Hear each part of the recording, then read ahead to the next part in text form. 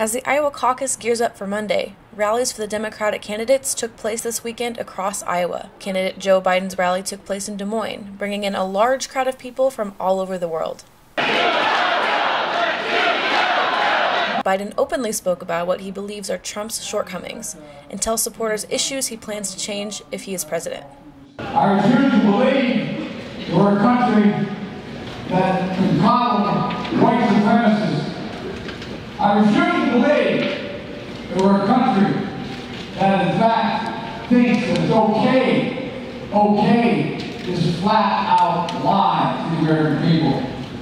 And I refuse to believe we're a nation that bows down to Vladimir Putin because I will not.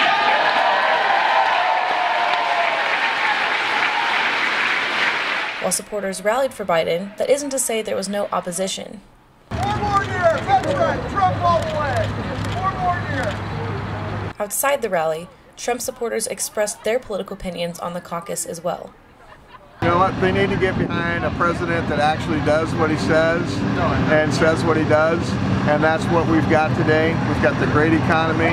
We've got tremendous military support. We've got new trade deals.